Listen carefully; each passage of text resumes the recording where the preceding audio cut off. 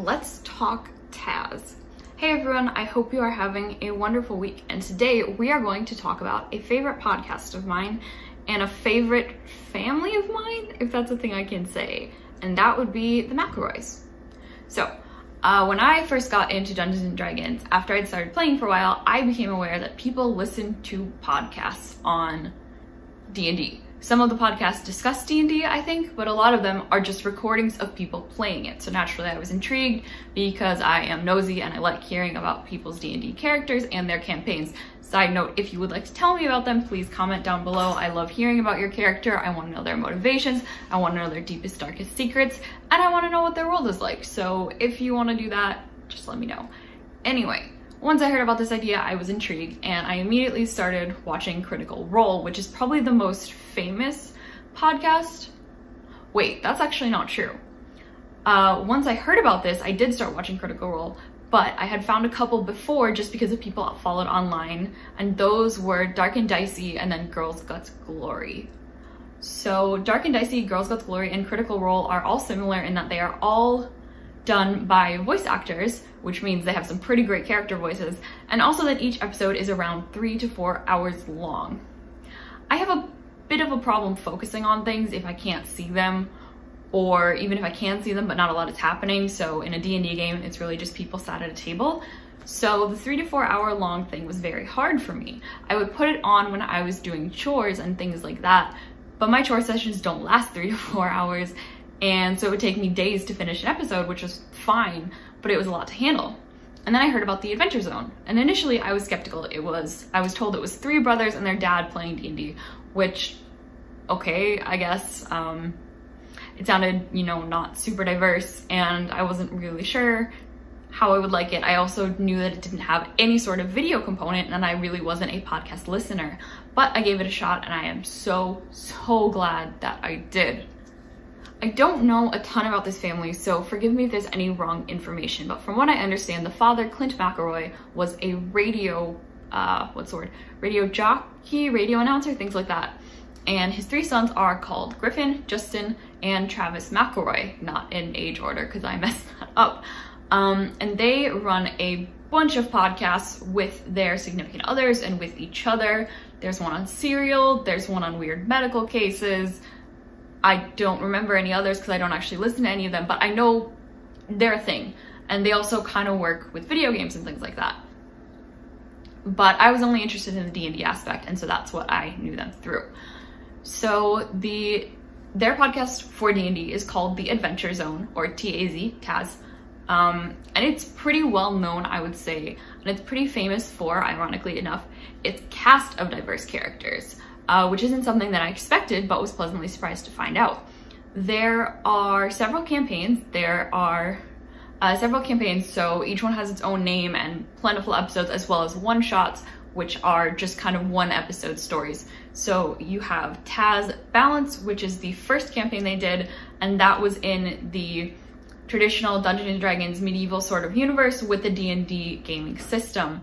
Then they did Taz Amnesty, which was set up in rural West, Virginia as the setting, modern day, with the TTRPG system, I believe it's called Monster of the Week, which I have never played. It's pretty similar to D&D, but there are some differences in mechanics and things like that, which they explain if you uh, listen to the podcast. There are several one-shots uh, between these two campaigns, as well as between Amnesty and the next a few campaigns which I can't remember the names of and they were quite short as well so it's kind of between a one shot and a campaign I would say. I didn't actually listen to them. Uh, because then we move on to the most recent campaign which is Taz Graduation which is again uh, in the D&D traditional setting and traditional mechanics uh, but this time it is run by a different brother. So all of the previous campaigns uh, excluding the one-shots, were DM'd by Griffin McElroy, uh, but the most recent one is run by Travis McElroy. So a little summary of each campaign. They don't have to be listened to in any particular order because they each have their own story. So as long as you start with one campaign or one one-shot from the beginning, you're fine. Uh, Taz Balance focuses on three adventurers named Taako, Magnus, and Merle as they explore the D&D world. This campaign is quite funny because the McElroys had never, as far as I know, played Dungeons & Dragons before, so they're kind of figuring out the game as they go along. So um, you might not like it if you're super into rules because they do flub some things, but honestly, if you're a newbie, you get to kind of learn along with them and it's a really interesting campaign. So Taako is called Taako Taako uh, and he is an elven wizard. Uh, a nice thing about the characters is they don't really describe them too much, so people are really able to put their own interpretation on them in fan art, which I really like. So you see the characters being depicted as different races with different hair color, uh, skin color, things like that, which is very inclusive, although as I will mention in a minute, they do get into very inclusive characters as we go on. Uh, then we have Magnus Burnside, he is a fighter, he's a human, and Merle Highchurch, who is a dwarven cleric for Pan. Um, I believe they called him Weed Grandpa sometimes.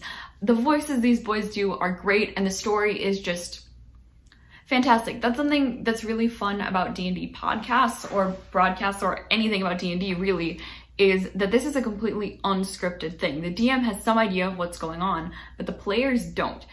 And so the fact that you can make a cohesive story out of all this is insane, but you can and they do, and it's just amazing. Like, I loved Balance so much that I seriously debated getting a Balance tattoo, and I still might. Um, let me just say the words abraca fuck you came very close to being tattooed on one of my shoulders with an umbrella, and that's still up in the air. Now, the second campaign, uh, Taz Amnesty, as I said, is located in rural West Virginia, which is where the McElroys are from. And it is set in a little town called Kepler, uh, and it basically is about monsters. So Monster of the Week is basically what the name implies in that there are different monsters that characters will be fighting. Um, but beyond that, there is an overarching story that Griffin makes, which makes it more interesting. I was a little bit hesitant at first because I thought having like specified monsters for each few sessions would be a little bit boring and a little bit too formulaic, but it actually was very interesting. So our player characters here are Aubrey, no, Audrey. I should know this, but I don't. One of them. Th those names sound really similar, okay? AKA the Lady Flame, a bisexual magician.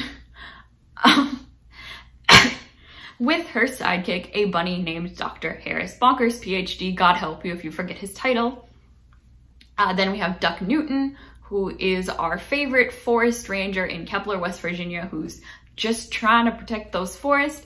And Edward Ned Chicane, a the owner of the Cryptonomica, which is a sort of museum store thing for all things paranormal. And so these characters end up being drawn together and they have to protect Kepler from monsters, which is pretty much as fun as it sounds. And then we come to our current campaign, which is Taz Graduation. And Taz Graduation has a special place in my heart, mainly because in the first episode, they introduced a non-player character named Rainier, who is a chronically ill magical wheelchair using character like me, except her wheelchair is a floating throne and she's also a necromancer who makes dead squirrels dance. But besides that, she's basically like me. And I cried when I heard that because I have never, ever, ever outside of my own work seen anyone make characters that so closely represented me. Besides Rainier, we also have a trans woman, we have non-binary characters, gay characters, straight characters, bi characters, anything you can think of, they're probably in there. And that's so great because I think it's very tempting to only play a character that you know or to only insert characters of things that you know, but that can leave out so much. And this way, people can just relate so much to these characters. It's just amazing.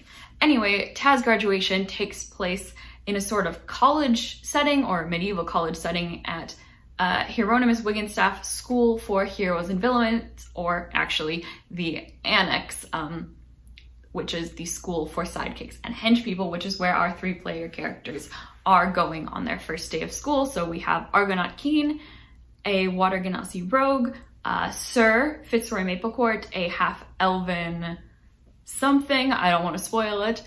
And then we have Redacted, as he's currently known online, the Firbolg Druid. And so they get up to all sorts of hijinks. It's a very interesting combination of the typical adventuring D&D feel, but also a collegiate feel, which I really like. And of course, one of the beloved NPCs is Gary the Gargoyle, who sort of acts as like a guide, but also a hive mind, but also protector. It's, it's very interesting. Each episode is roughly an hour to an hour and 20 minutes, which makes them very easy to digest, and they also only come out once every two weeks. So you have plenty of time to listen to the episode at your leisure if you can't concentrate as well, um, and still get through it before the next episode comes out. They are engaging, they are entertaining, and a lot of people love to cosplay them. Which is where I'm gonna insert a little bit of self-promo. As you can see here, I cosplayed a character from Taz Balance. I don't want to give anything away by saying her name. So I'm just gonna put the picture here. If you wanna see my videos of her on TikTok, you can. I do use audios from the podcast though, so those will be kind of spoilery. Um, watch at your own risk, but I do love this character very much. And just just listen to the podcast. It's great. They have TikTok accounts devoted to getting the audios from the podcast so you can cosplay them and, you know, say the lines in character. It's just a great way to take yourself away to a fantastical world, which really we all kind of need right now. Anyway, thank you guys so much for watching. Check out my links in the description if you want to follow me on other social media websites. Don't forget to subscribe and I will see you next Sunday. Bye.